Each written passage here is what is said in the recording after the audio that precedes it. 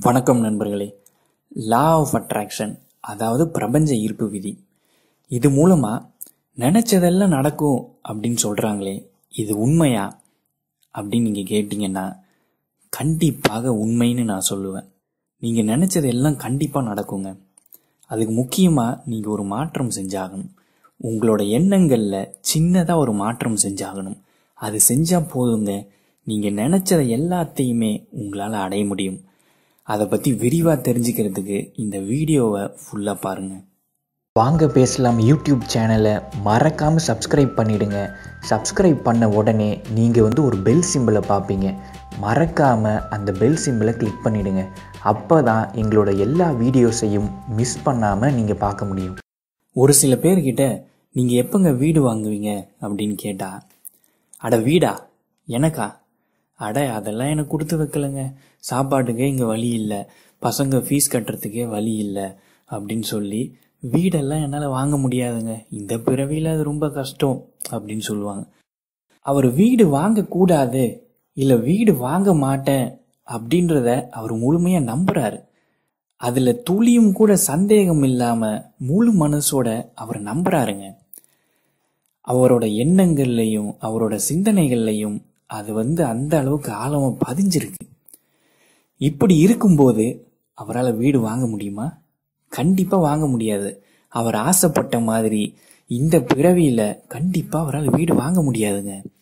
அதுக்கப்புறம் சில பேர்கிட்ட போயிட்டு என்னங்க எப்போங்க உங்களுக்கு கல்யாணம்? அப்படின்னு கேட்டால் அட எந்த பொண்ணுக்குமே என்னை பிடிக்க மாட்டேங்குதுங்க. எனக்கெல்லாம் எங்கே கல்யாணம் ஆக போகுது? இப்படியே இருந்துட்டு போக வேண்டியதுதான் போல இருக்குது அப்படின்னு ஒரு சில பேர் சொல்லுவாங்க. இது வந்து அவரோட மனசில் ஆழமாக பதிஞ்சிருக்கு. முடிவு பண்ணிட்டாருல.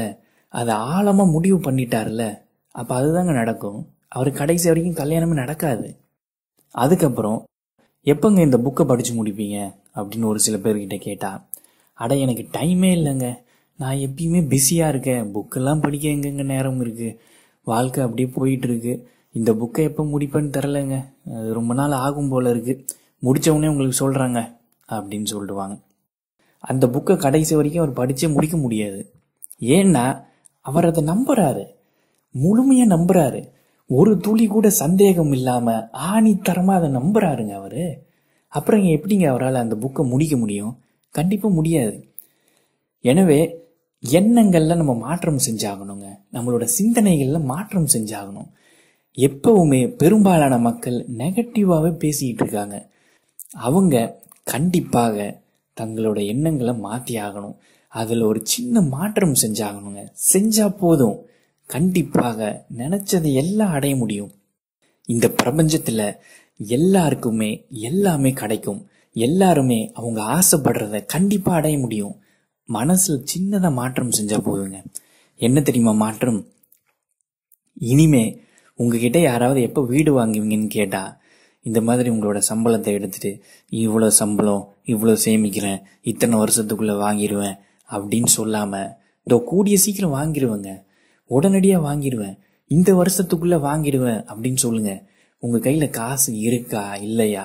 இல்லை உங்கள் பேங்க்கில் எவ்வளோ இருக்குது அதெல்லாம் அவங்களுக்கு தெரியுமான்னு? இல்லை அதை பற்றிலாம் அவங்க கவலைப்பட போகிறாங்களா அது அவங்களுக்கு கவலையே இல்லை அதை பற்றி அவங்களுக்கு பிரச்சனையும் இல்லை. எனவே நீங்கள் நம்பிக்கையோட தோ கூடிய சீக்கிரம் வாங்கிடுவேன் இந்த வருஷத்துக்குள்ளே வாங்கிடுவேன் அப்படின்னு சொல்லுங்கள் தைரியமாக சொல்லுங்கள் இப்போ என்னங்க பிரச்சனை? ஒரு பிரச்சனையுமே இல்லை.